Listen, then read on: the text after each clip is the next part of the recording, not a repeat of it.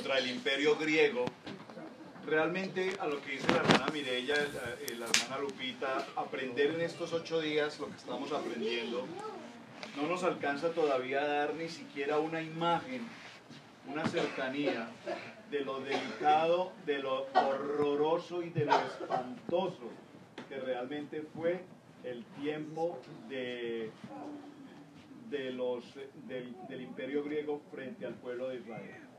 Sea, nosotros lo estamos apenas mencionando.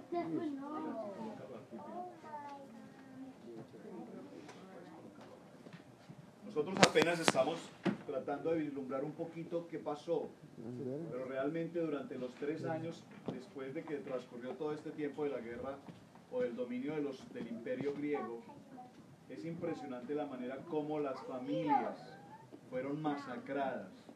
Pero vimos ahora un poco en el video también cómo en el tiempo de Shabbat, cuando los griegos venían en persecución de ellos, el pueblo de Israel optaba por mantenerse guardado sin ni siquiera defenderse, solo por el hecho de saber que estaban celebrando el tiempo de Shabbat. Es decir, nosotros tomamos el tiempo de Shabbat y parece que lo tomamos un poco a la ligera, muy a la ligera. Eh, todavía no, no, no, alcanzamos un nivel, yo sé que es un proceso, y como dice la hermana Mireya, estamos llegando, vamos mejorando tiempo con tiempo, pero para estos hombres, frente al imperio griego, cuando sus hijos eran mutilados, masacrados, quemados vivos, los hogares, cada familia, miles morían diariamente, nos damos cuenta que el amor y la fidelidad que ellos tenían por, por, el, por el Padre Eterno, por el único Dios, era un, nivel tan extremadamente elevado como nosotros todavía no lo podemos imaginar. Realmente nosotros creemos que cuando venimos a la congregación un sábado a reunirnos, estamos haciendo la gran cosa para Dios. O sea, pareciera ser que venir el sábado tenemos carro, aire acondicionado, el highway, venimos y pasa una hora y si el pastor se demora en predicar mucho, pero ¿qué pasa con este hombre que no termina? Y, creemos que estamos haciendo, creemos que estamos adorando a Dios con un corazón de tanta gratitud cuando realmente nos damos cuenta, viendo lo que pasó realmente el pueblo frente al pueblo, al imperio griego o aún al imperio romano, y aún después, como lo decían por acá, cuando Adolfo Hitler nos damos cuenta que el pueblo de Israel ha pasado batallas, ha pasado pruebas y guerras impresionantes. Pero en medio de todas estas muertes, de miles y miles de hombres del, del, pueblo de Israel, hasta el día de hoy, son el único pueblo que tienen historia grabada por más de dos mil años y grabada específicamente en la Biblia, y que se conservan y se, y se mantienen con vida hasta hoy. Así es que eh, mirando esta historia, observen en la pantalla, ustedes van a ver allí las letras de nuestro alefato hebreo. 22 letras, ¿verdad? ¿Lo recuerdan? Entonces yo solamente les voy a mencionar un, una, una gematría. ¿Qué es una gematría para quienes están por primera vez escuchando? Cada una de las letras en el alefato hebreo, observenla, Aleph, Bet, Gmail, Dalet, Hey, Bat, cada una de ellas tiene un valor numérico. Es muy importante que tengamos presente esto. Por favor, présteme un, un dreidel un segundo. A ver, eh, eh, eh, un dreidel. Junior, un dreidel allí, por favor.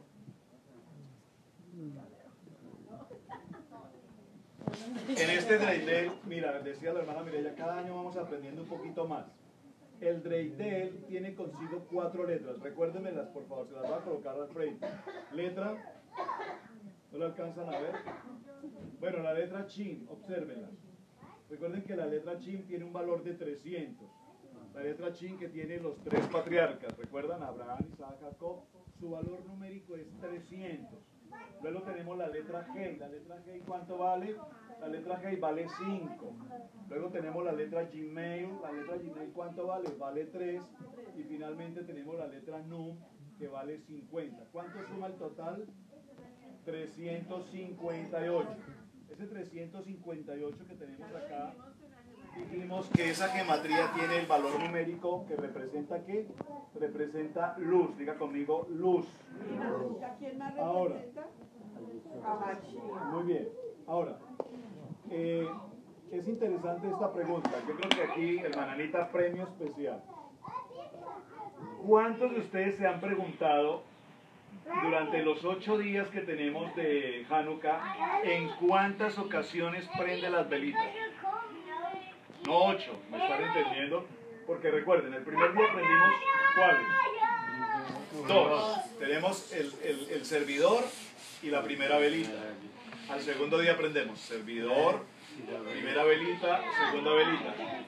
Si usted hace esa operación al terminar Hanukkah, ¿cuántas veces prendiste las velitas? ¡Híjole! Casi. Me faltó la mitad. ¿Cuántas? La hermana Pili no puede contestar. Sí. Sí, o sea, Haz la operación. Primer día, el, el servidor y la 1. Segundo día, servidor, la 1 y la 2. Tercer día, servidor, la 1, la 2 y la 3. Bueno, muy bien. Ok, muy bien.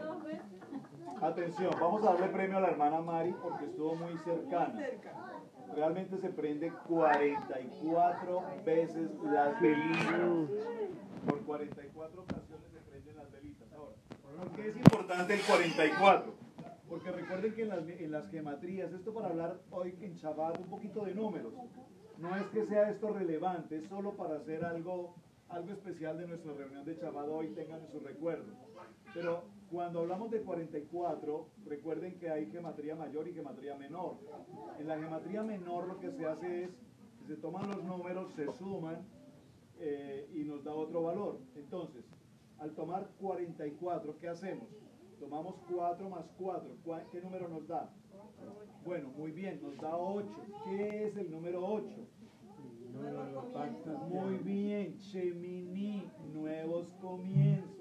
¿Ven lo interesante? Entonces, ese 44 es un código. Realmente la Biblia está toda llena de una codificación especial a través de la alfabeto. Entonces ya vimos que el 44, al sumar 4 más 4, nos da 8. Y ese 8 corresponde a nuevo comienzo o Chemini. Muy bien. Ahora, el valor numérico que tiene la palabra Yeshua, las letras de Yeshua, observen la pantalla. Tiene la letra Yod. ¿Cuánto vale la Yod? 10. ¿Cuánto vale Shin? Ya lo acabé de mencionar. La Shin, ¿cuánto vale? 300. ¿Cuánto vale la letra Bat? La 6. Vale 6. ¿Y cuánto vale la letra Ayin? Vale 70. Esto nos da un valor total de 386. Ahora, tomemos ese 386 y sumémoslo. 3 más 8 más 6, 17. ¿Qué nos indica el 17? Hagamos la gematría menor. ¿Cómo es la gematría menor de 17? Muy bien, hermana Dalia. 7 más 1, ¿cuánto es? Entonces tenemos nuevamente 8. ¿Qué nos indica nuevamente el 8?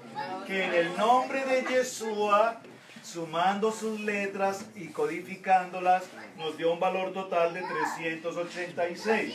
Sumados el 386, nos da 10, no, 3, 8 y 6, nos da 17. Y 7 más 1, nuevamente encontramos el valor de 8. ¿Ven lo interesante? Como en el hebreo. Esto no pasa en español. Esto no pasa en inglés. Esto no pasa en francés. Esto solamente lo encontramos en el alefato hebreo. ¿Por qué es importante esto? Porque cuando vimos que el pueblo de Israel era perseguido por el imperio griego, ellos utilizaban todos estos códigos para identificarse, para establecerse. De ahí vienen nuestros nombres, ¿verdad? Recuerden que nuestros apellidos, todos nuestros apellidos vienen de una codificación.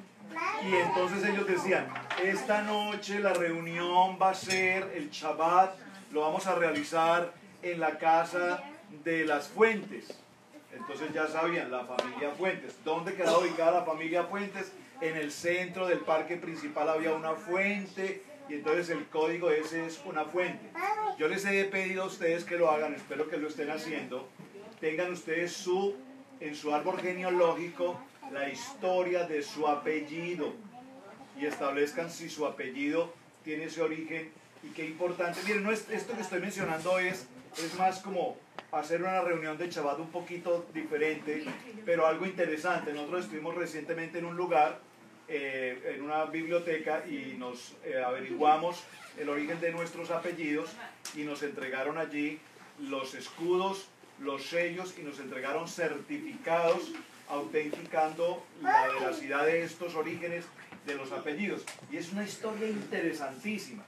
Saben ustedes que en España, cuando el pueblo sefardita llegó a, a Sefardá, principalmente los judíos llegaron allí y se establecieron, de allí vienen nuestros apellidos, Rodríguez, todos los apellidos que nosotros tenemos. Entonces identifiquemos el origen de nuestros apellidos.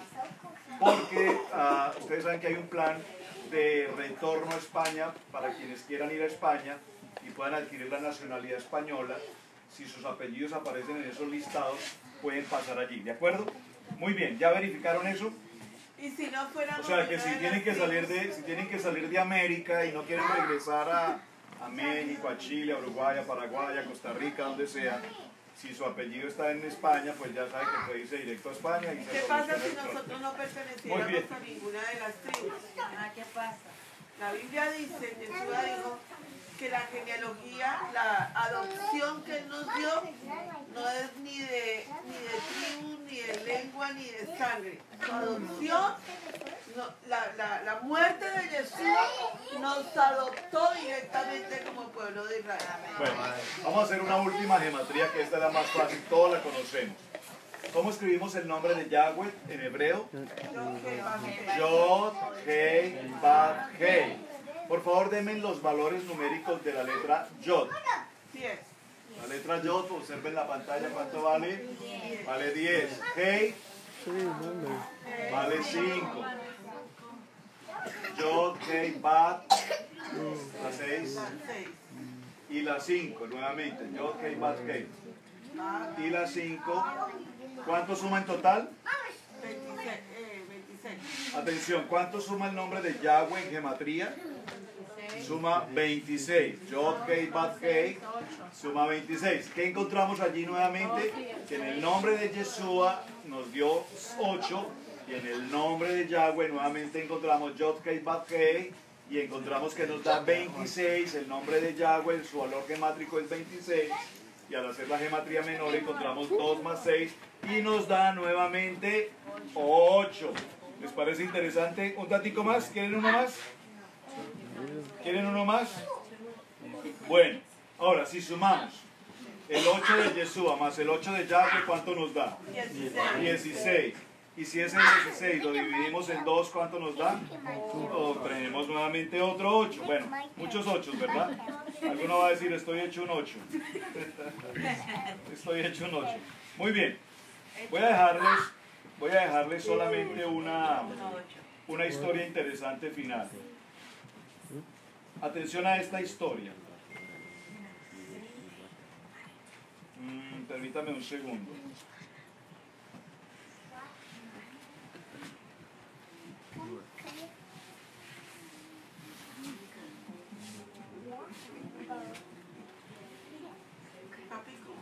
Atención. 8, 16 te da 8, no te da 7.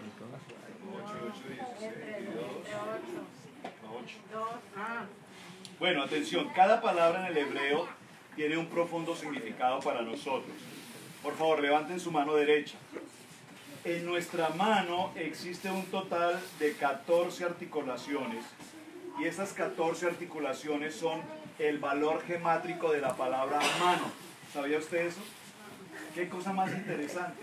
En nuestra mano hay 14 articulaciones y la palabra mano en hebreo, su valor gemátrico es 14. La palabra en hebreo para, para, para mano es yad. Se escribe en español Y-A-D, yad. Diga conmigo yad. La palabra mano en hebreo es yad. Ahora, ¿esa por qué es importante esto? Cuando dos manos se unen, por favor, denle su mano derecha a alguien que tenga allí cerca. Cuando dos manos se unen, forman un ejad. ¿Qué es un ejad? unidad. Una unidad. cuál es el valor gemátrico de Ejad? 8. Va, ese lo Entonces, ¿qué significa cuando nos acercamos el uno al otro? Aquí tenemos 14 articulaciones, más 14 articulaciones, ¿cuánto nos da? 28. El número 28 escrito en hebreo es Kaf y Yeb. Esas dos palabras, la Kaf y la Yeb, formando la palabra en hebreo, Yad en hebreo, mano en hebreo es Koach, Koach. Y esto, Koach, la palabra Koach en hebreo, significa fuerza. Entonces, cuando 14 articulaciones se unen a 14 articulaciones, formamos un Ejad, una unidad. Y cuando formamos una unidad, una unidad, ¿qué tenemos entonces? Koach. ¿Y qué es Koach? Fuerza. Por favor, haga fuerza el uno con el otro, tire el uno hacia un lado, lance el otro para el otro. Fuerza. Entonces, vamos a estar, vamos a estar de pie un momento todos, por favor. Puestos en. Tómense, tómense de su, de su ya. Tómense de su ya. Amén. Su ya. No, de la mano, esto. Anita, uy, uy, Anita me dio la mano. ¡Milagro! Un milagro ocurrió aquí. ¿Listo? Ahora, hagan un poquito de fuerza hacia un lado y hacia otro. Hagan un poquito de fuerza hacia un lado y hacia otro. No muy fuerte porque la hermana Anita está muy delicada. Ha estado muy cansada con su trabajo, muy golpeada por demás. Se lastimó en un accidente. Entonces, diga conmigo, ¿cuándo tenemos nuestra fuerza? Tenemos una unidad. En este tiempo de Hanukkah y en este tiempo de Shabbat estamos haciendo la unidad y la fuerza de la familia en esta celebración. Digan todos, por favor, Hak Sameach Hanukkah. Más fuerte. Feliz Hanukkah para todos.